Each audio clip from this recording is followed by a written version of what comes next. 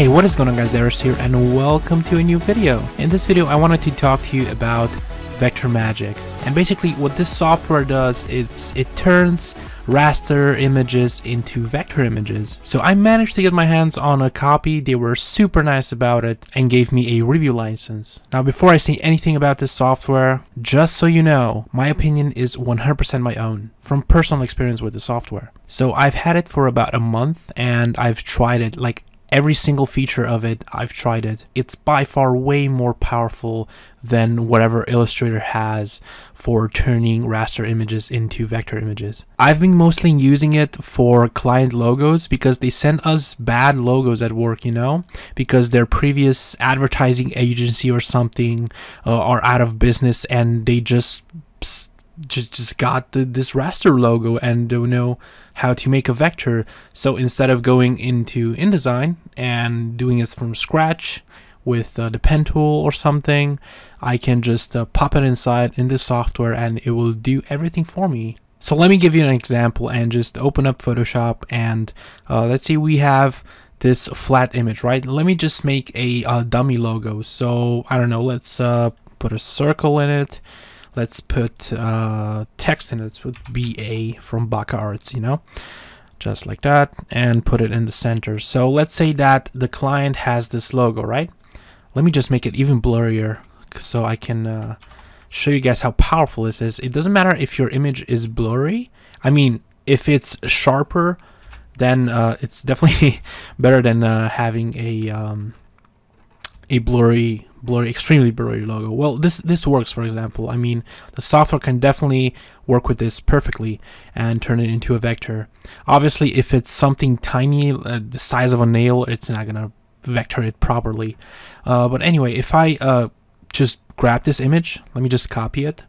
It's pretty nifty since you can paste uh, from the clipboard right so if I can paste from the clipboard, it uh, just copies whatever I had in Photoshop, whatever I copied in Photoshop into the software. So I mean, I guess you can probably you can probably guess what's going to happen now. There's uh, they have advanced features, so you can fine tune everything, and they have simple multiple choice questions, which is pretty nicely. Before I do anything, I usually click on fully automatic and see how that performs. And if it's bad or something, if something weird comes out, then um, I'm just going to go and fine tune it myself and I can choose the settings so I get a uh, pretty nice result. Uh, but most of the time, like I swear, 80% of the time, the fully automatic, uh, fully automatic mode does everything. So check that out. Now it's officially a vector, and uh, obviously before I uh, do anything, I just remove the background because I just want the BA logo, right? I click next and uh, there's the detail level here which will uh, change it automatically. It will make, you know, the image more detailed, obviously. You can choose the custom colors. So if you have black and white and black and white, you know, you don't you don't want grays and stuff because it's gonna look weird on the edges and whatever. um, and I can save this into a lot of formats, actually PDF, SVG, AI, uh, was it an EPS, obviously, but it's gonna be RGB. So for work, for example, I need to save things in, um, excuse me, let me just remove the background. I need to save things in CMYK because we, we, we print stuff, right? So if it's gonna go on a t-shirt, I gotta save it in CMYK. Uh, the, that's basically the only thing that bugs me about the software because I haven't found anything to let me change RGB to um, CMYK directly from inside the software. I mean, I could, I'm gonna do it in, in Illustrator, but whatever. So uh, let me just uh, save this EPS on the desktop, and I'm going to import it into Illustrator. So I'm just gonna grab the clipboard thing that I just saved, and there you go. We have paths. So this is all paths, as you can path bleh, paths, as you can see, and uh, you can now change it to uh, CMYK which is what I'm gonna do. You don't have to do this. I mean, if you're making a web logo, you know, the you just need the web EPS, then go ahead, just use the EPS, um, the, the, the, the, RGB one. I'm gonna switch to CMYK, and what I do is I make a uh, new color process and just change it to K100 and the rest to zero. So it's 100% black. Now it's ready for print. Another thing that I like is just uh, the effect that it gives to images. So if I can just grab this image, where is it? Where is it? Edit, copy, merged. I'm gonna have it in my clipboard and I can just go to the start page and paste from the clipboard. And I'm just gonna leave it on fully automatic and see how it performs.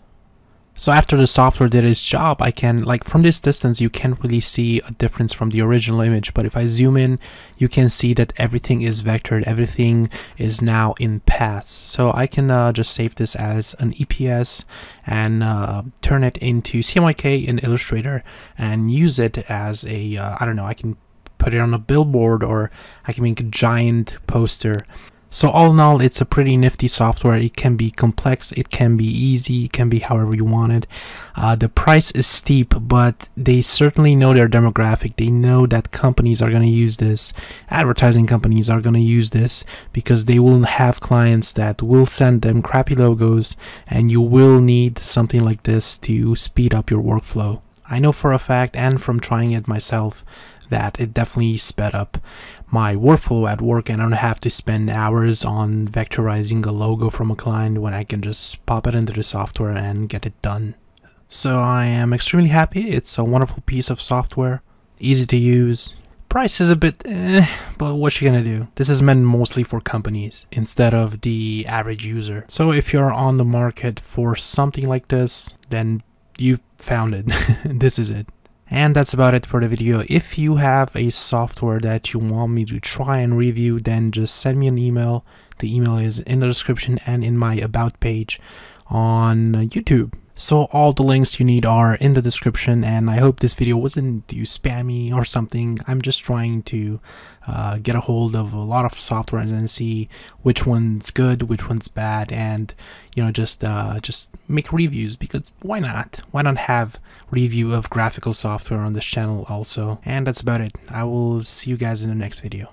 Cheers.